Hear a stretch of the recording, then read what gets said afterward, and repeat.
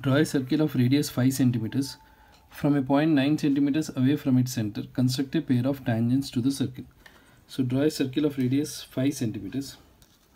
So measure 5 centimeters with the help of compass. Draw a circle of radius 5 centimeters. So this is 5 centimeters.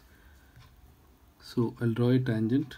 So this circle is of radius 5 so this is the center. O. Now from this O I need to draw the tangent from a point which is 9 centimeters. So this from here I'll take 9 centimeters away. So this is the point. This is the point P which is 9 centimeters away from the center. Now to draw the tangent from this point, I'll draw perpendicular bisectors for OP.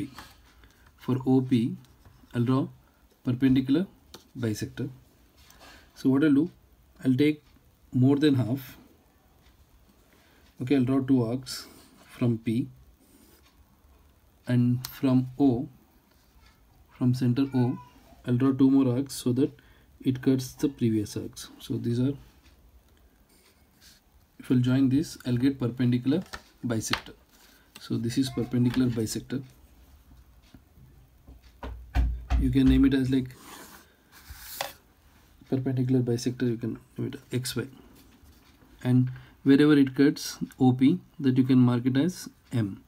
Now with MO or MP MO or MP as radius you need to draw a circle with MO or MP as a radius we need to draw a circle.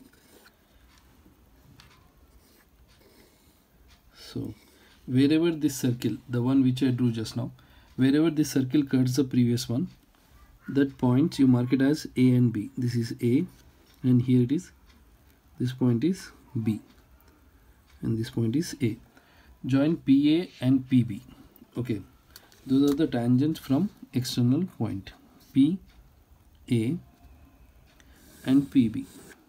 This is, this is one tangent and the other tangent is PB.